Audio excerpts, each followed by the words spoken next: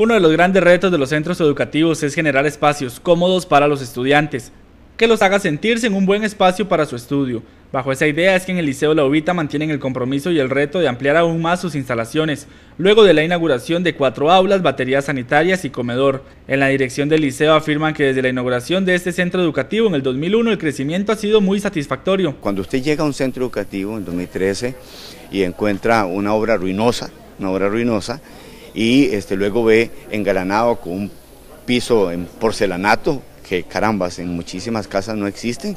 Se logró ese piso porcelanato gracias a la gestión también importante de la Junta Administrativa que tuvo con nosotros acá hombro a hombro y no ha sido únicamente la labor del director, sino que ha sido una labor del personal docente, ha sido una labor de la Junta Administrativa, ha sido una labor, por supuesto, de la Dirección Regional, un apoyo, y los padres de familia que también ha hecho un aporte fundamental. Entonces, entonces ha sido una labor mancomunada y hoy estamos engranados con esto y sabemos que es el principio de cosas grandes. Ahora se busca el techado del planché que le daría paso a un gimnasio, aunque se necesitan cerca de 300 millones de colones que buscarían gracias a la Dirección de Infraestructura y Equipamiento del MEP. Creo que el, paso a seguir, y por esa razón tenemos acá a los señores miembros de la DIE, queremos aprovechar esa instancia, es eh, techar eh, justamente eh, el planché de lo que será futuro gimnasio. Es una obra que supera los 300 millones de colones porque queremos un gimnasio de punta, un gimnasio como, como, los muchachos se lo merecen, con, vestidores y demás, incluso una parte para los muchachos con, con discapacidad.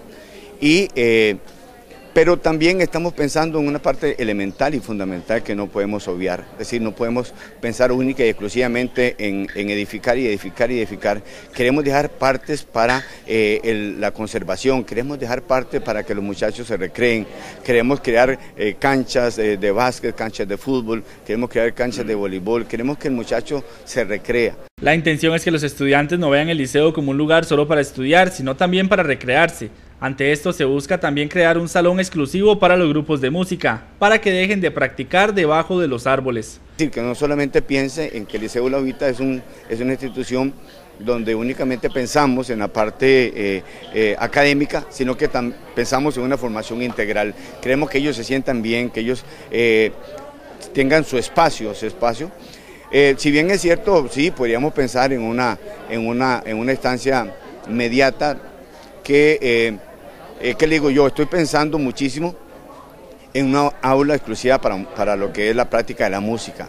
Hemos notado que aquí hay mucho potencial y si sacamos los muchachos de las calles y los traemos y le practicamos a ellos, le presentamos a ellos un atractivo, en cuanto el Liceo Lobita tiene también una escuela de música. En la DIE argumentan que se debe priorizar trabajos en centros educativos y que en el sur tienen una gran lista de espera de obras que aún deben completar antes de invertir nuevamente en el Liceo Lobita aunque sí lo tienen contemplado, pues es una necesidad. Depende, ¿verdad? Como dice usted, tenemos una gran cantidad de proyectos en espera, entonces nosotros damos priorización para atender las necesidades básicas que tiene que, atender el colegio.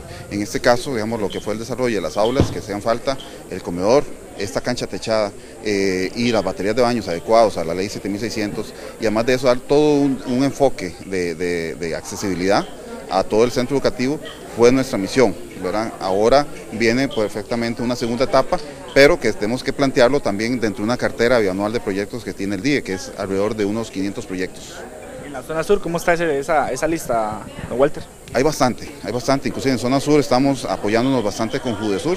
Este año logramos hacer un, procedimiento donde aclaró exactamente cuáles eran los papeles del DIE, cuáles eran los papeles de Judesur y ahora ahorita estamos trabajando de manera coordinada. Recientemente el liceo tuvo un apoyo de 163 millones de colones para las obras que se inauguraron en los últimos días.